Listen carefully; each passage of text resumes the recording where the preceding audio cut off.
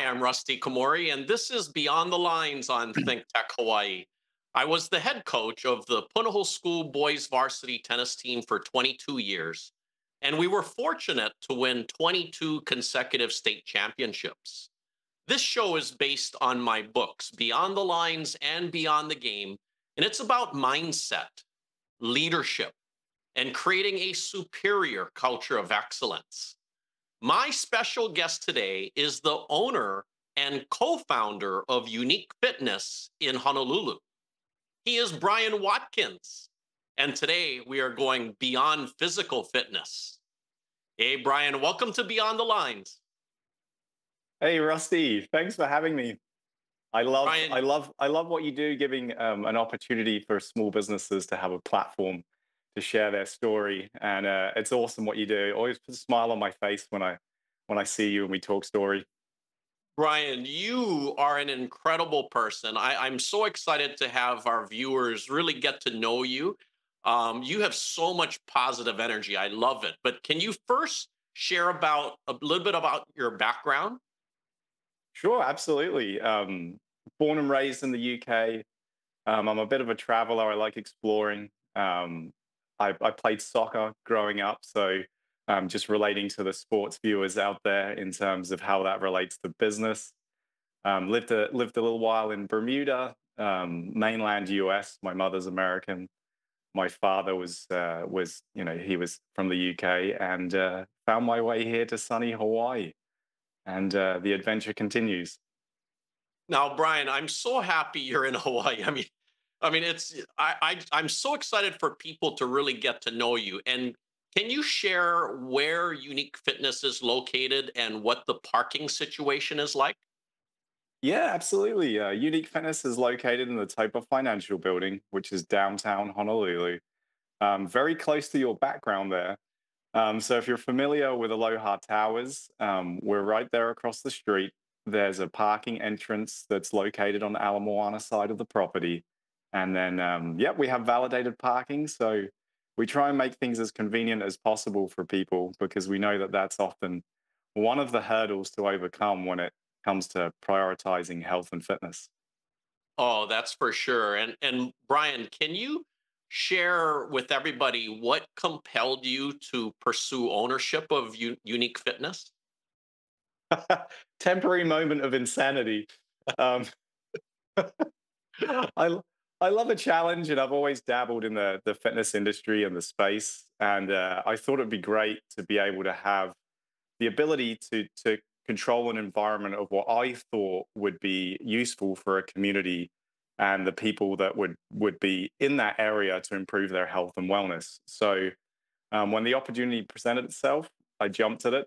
Um, I knew it was going to be uh, one of my biggest challenges and and a hell of a roller coaster, but um, I'm in it. I'm enjoying it, and um, I'm I'm happy to be doing it. And Bryan, uh, can you share about? I mean, how tough it was, you know, during COVID for you to really stay, you know, alive and survive.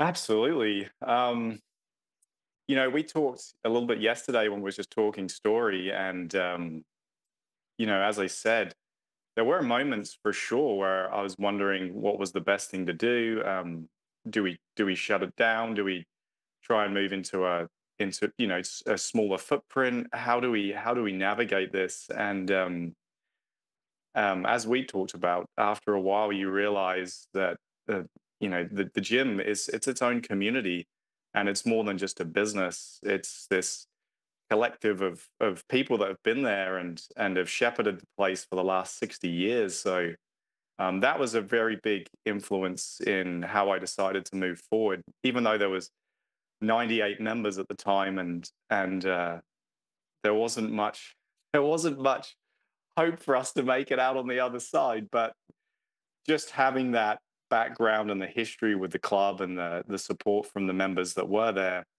um, I'm happy that we moved forward and we found a way to to navigate through the weeds and uh, get out on the other side to where we are now. No, it's it's absolutely amazing what you've been able to do there. And and Bryan, can you talk about the exercise rooms and the exercise equipment and the classes that you offer there?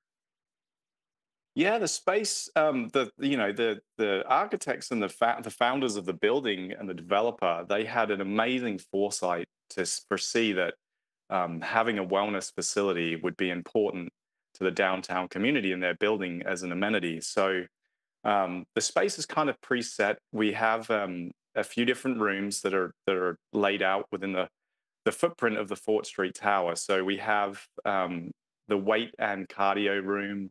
We have a functional training space where a lot of our, our trainers hang out and and work with kind of specialist routines. Um, and then we also have a sauna, steam room, jacuzzi, swimming pool. If you if you like the executive workout.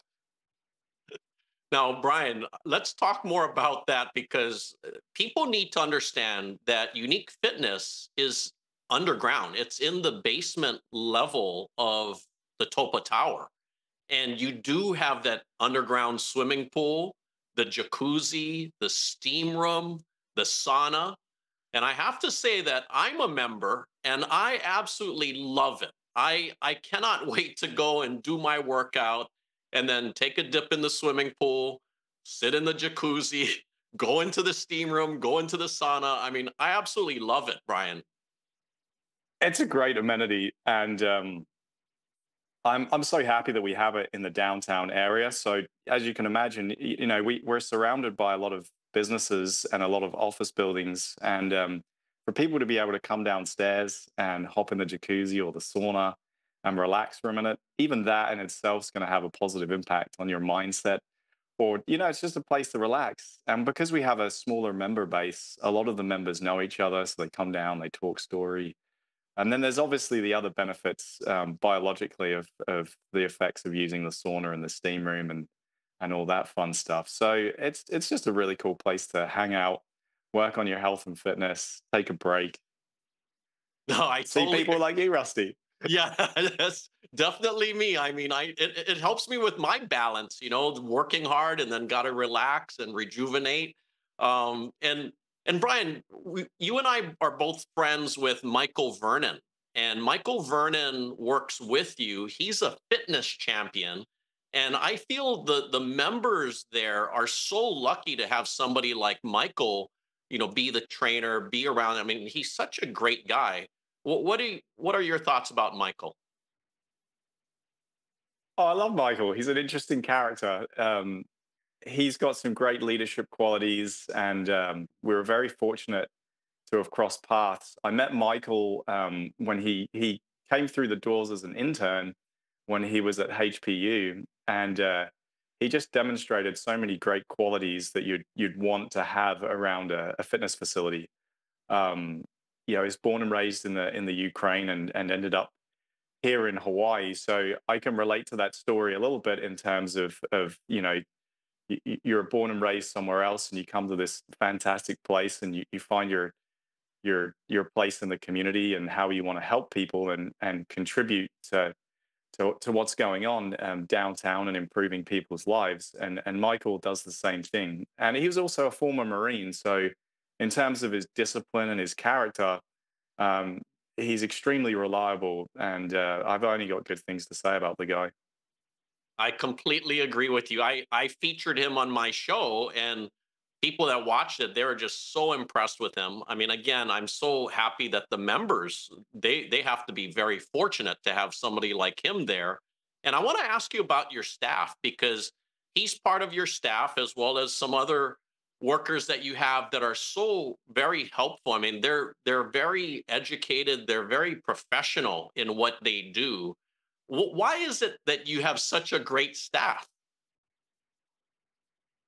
Um, I think these types of businesses attract people that enjoy interacting with with with the community. So, you know, you're you've you've got multiple different types of people coming through the doors and different personalities, and um, it, it definitely takes a certain type of individual that's able to to navigate and be able to provide a service like we do and keep things positive. And I mean, we open at four thirty in the morning, so uh, you know, I, I've gone in and, and covered hours at that time, and and you know, to be able to have a smile on your face and um, treat people in a, in a way that motivates them to keep coming back. It's it's definitely a certain type of individual, and we try and cultivate that as well. That re- reminding people that this might be this might be the one thing that they're really looking forward to that particular day. You don't know what they've gone through um, prior to walking through the door, so let's make sure that everyone has a really good experience, and um, you know we we, we try and keep that momentum going. Oh, that's such a great thing to focus on there because yeah, you you never know what somebody else is dealing with that day. And and Bryan, I want to ask you about the members. I mean, you're right. You mentioned earlier that it's like a smaller community. Everyone kind of knows each other and everyone's so friendly. I mean, when I'm there, everybody's so nice and and and you have such a wide range of ages of of members. Um, can you tell me more about that? Yeah, we have a wide range of, of ages and also backgrounds as well. Um, we have owners of companies, um, you, you know, law partners, um, restaurant workers, um, you name it. It's a, it's a full gamut of of of people that are interacting with each other. But I think, like I mentioned in the beginning, and like you've noticed as well, is because it's such a small member base, um, everyone just it kind of self manages, and we've created a culture of of of respectful communication with one another, and it, it's it's it's great. It's become a place to network and focus on your health and fitness. And even for me, it's been a learning curve when I first moved here and first took over the club as well. Uh, my communication style, um, it, it's had to be very nimble in terms of how I interact with people and and to to keep it as a positive place whilst also making sure everyone else is being respectful of one another. It's it's like being a one a mediator of of of everyone's wants and, and needs and the businesses. Yeah, I no, I totally get that. And uh, I mean, I I look forward whenever I'm I have time to go and do a workout there. I'm super excited. Love talking with some other members that are that are there working out at the same time. And and Bryan, I want to ask you about Ryan Tanaka. Uh, Ryan Tanaka, business leader, community leader. He's the founder of Brotherhood Grinds, Sisterhood Grinds, which benefits the University of Hawaii athletics. And you are a sponsor of Brotherhood and Sisterhood Grinds, um, which ultimately helps our community. And when I had talked with you about it and you were so excited, I mean, you just provided, you said, I want to be a sponsor. I mean, you're, you're, that's incredible, Bryan. Anything that we can do in addition to what we're already doing to help the community, um, I, I do whatever I can to try, try and reinforce other initiatives that are helping people um, who want to improve their lifestyle, whether it's through um, education, health and wellness, the environment, anything that we can do, and it you know it it makes sense. We we'll absolutely do it. Um, I'll I'll jump at it for sure. you guys, you guys are awesome. What you're doing, I love it. And yeah, you can just... you can share a little bit more about about the program, but just in the sh- the short moment that we we chatted, I was like, I'd love to be part of this and support what you guys are doing. Yeah, I mean, th- this is just the third year of um, Brotherhood Grinds, and it's it's incredible how many restaurants are included and how many businesses have you know stepped up to be sponsors to really help you know University of Hawaii athletics. It, it's truly amazing. And Bryan, I, you know, for me, I do a lot of executive coaching, as you know, and a lot of it, you know, I I try to help executives or their companies having you know good physical fitness because if they have physical fitness they're able to perform well maybe even have peak performance at work but also at home. But i also focus on mental fitness because i'm trying to change the narrative from mental health to mental fitness because the brain controls the body right what are your thoughts i agree i think there's a, a lot of um, synchronicity between the two, and uh, and um, it's one of the areas that's neglected a lot, and it's something that I focus on heavily now. Is making sure that I focus on my brain health as well. You can, you know, just for making better decisions, um, just trying to be a little bit more sharper with with how I operate as a business professional as well. It's something that can easily get neglected, and you can kind of stay focused on working harder, um, you know, uh, sleeping less, drinking more caffeine, all of those things that we feel are helping get us through the day. But maybe you just need to take a little bit more time out and focus on some things that are good for your, your brain and body. And um, definitely throughout the pandemic, that was one opportunity where I was like, look, the only way we're going to get through this is if I'm absolutely functioning at my best. So I don't know how how crazy this was, but I cut out alcohol, sugar, and caffeine and went cold turkey. Start, started meditating, really focusing on how I could, you know, function um, and and make the best decisions that could help get us through through that situation. So I encourage anyone that hasn't tried it before, um, try yoga, try meditating, try getting out on the water, or anything that has a single point of focus that takes you away from your normal thinking patterns. Yeah, And if you and have a hard, if you have a, just like myself, if you have a hard time meditating for five, ten minutes, then you you you probably need it. That's that's what I tell myself is if I can't sit still and try and just sit there and focus on something else, then I need to do this more. No, Bryan, that that's incredible. I mean, so you made the choice to cut out those things and to start meditating. I, I always say once you make that choice, that's a discipline.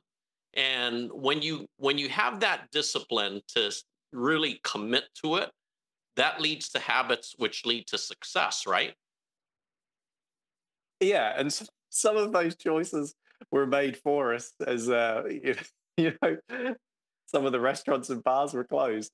But um, at the same time, yeah, absolutely. Um, if you can have a goal in mind and something that you want to achieve, um, and you take the steps that start moving you towards that, whether they're small, incrementally, every single day, um, you you'll start. If you focus on the small improvements and how that's affecting your life, then absolutely, the momentum will start, and uh, the changes will come, and the positive outcomes will come with it.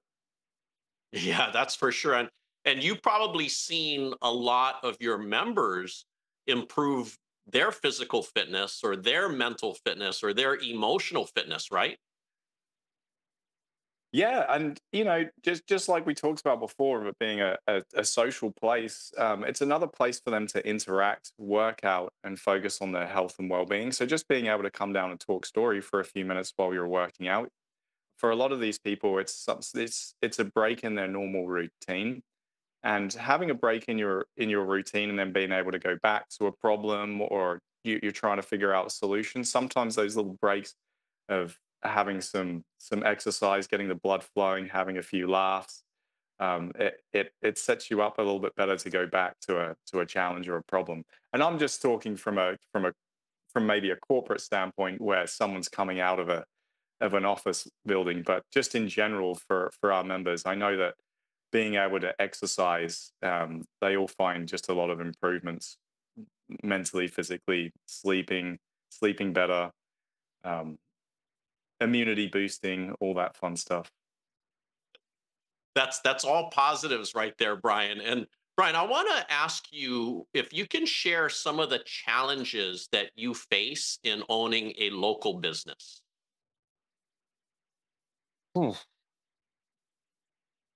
Um, we definitely have to be nimble.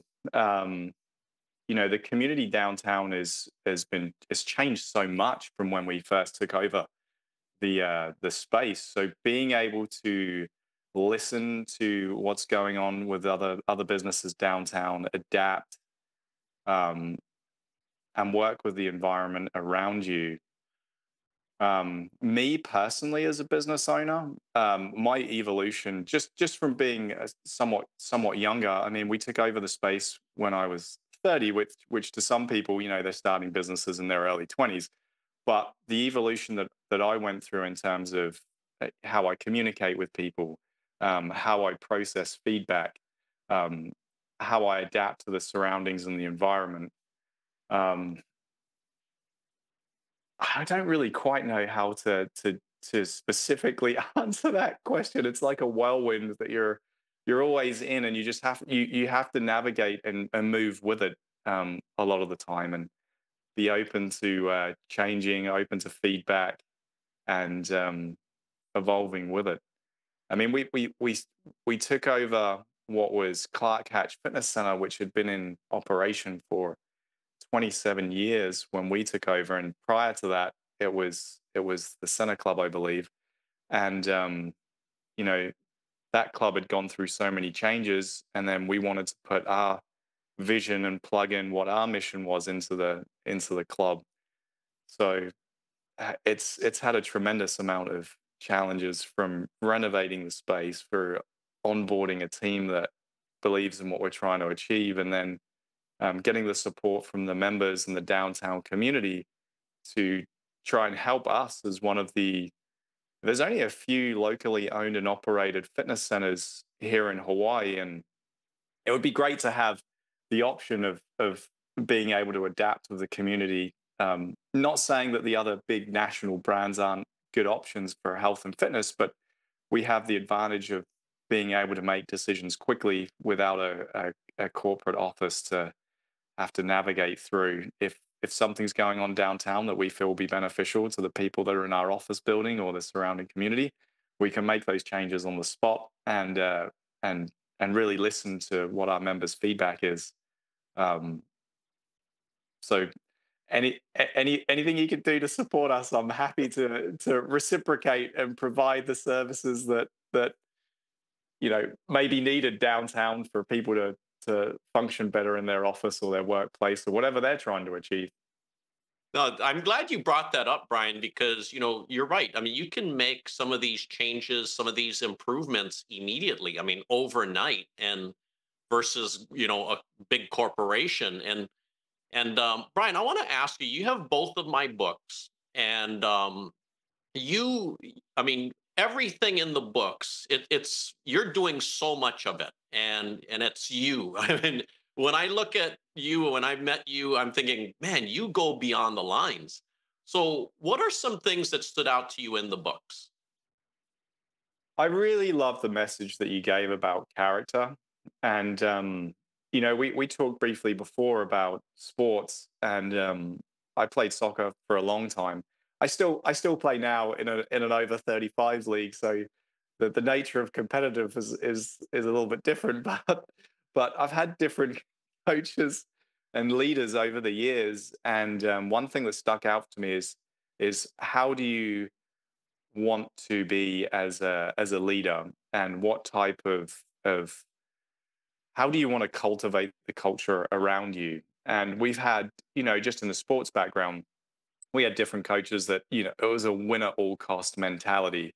However you get there we just want you boys to win. And then there was others that let's let's get to the end goal with some class here and and be respectful. And um, it was interesting of being exposed to that from from a young age. And um, that's one thing that i love about athletes that we work with if they're on our team is is that a lot of the times i've had those same experiences. So when we have a message of how do you conduct yourself in the workspace, how do you communicate with the members, what message do we want to be able to have them hear?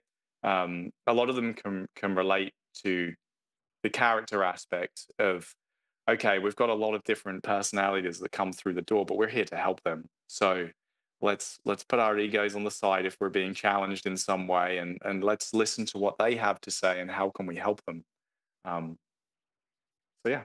No, I'm glad, Bryan, that you brought up the character part because I mean that's all you. I mean, you're a man of great character, and and I also talk, as you know, about uh, great leaders build other great leaders, and and that's what you're trying to do. And right, how you just mentioned about you know when you're growing up, we're all on teams growing up on at some point in time, whether it be in sports or business, and we watch what the leader or coach does that might be good or that might be bad, and that kind of shapes our leadership style.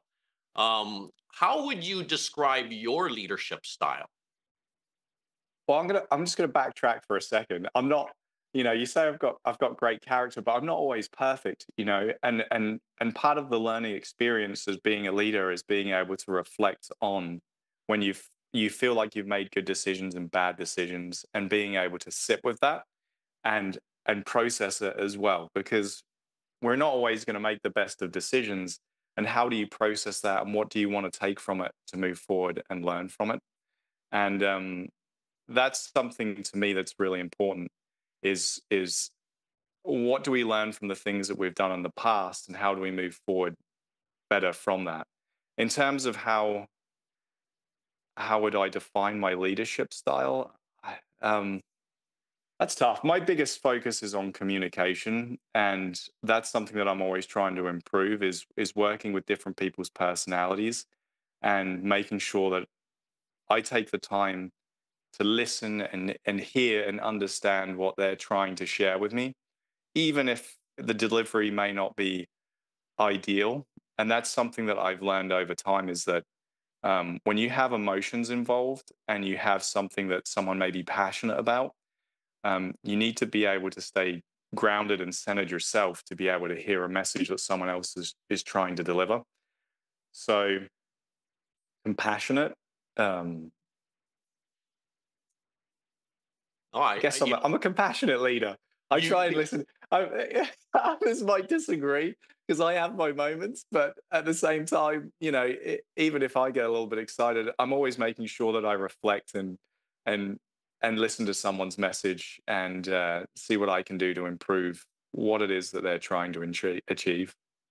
No, Bryan, I'm so glad. I mean, yeah, you you are a compassionate leader, and I'm so glad you brought up about communication because that's that's so necessary. I mean, even nonverbal communication is communication. And Bryan, you've built, you know, with your business there, you're you've built a great team around you and and it in order to succeed you you have to have a good team. You have to have teamwork. What what more i mean why why do you have such a great team around you to to keep moving forward to accomplishing the the club's goals? You know rusty i um i really admire a lot of the people that are around the club as well. A lot of the members that have supported the club and uh, even the building owners and managers, how they've um, handled certain situations through COVID, and um, I, I, I learn a lot from other people as well, and um, I feel like I've had so much support from other individuals in times that have been really, really challenging, and I get to see both sides of that. I've, I've, you know I felt that I at times haven't had the support from certain individuals that I've that I've really needed. So when someone steps up in a time of what might be a, a business crisis, as it were, you know, you're dealing with your own personal issues. That, that there's a million dramas going on behind the scenes with your your business, and we're still here to help people. And someone else that, you know, they may just care about the club, or they may just like me, and they step up to the plate to help out. Um, it's something that's that I then take and and put back into the club, you know. So um, there's a lot of people that I absolutely am so grateful that have crossed paths with me and the club, and um, yeah, even like I said, the building owners and the landlord, amazing. The members, amazing. People like yourself in the community that, you know, here we're trying to do something cool for the downtown community and want to help out.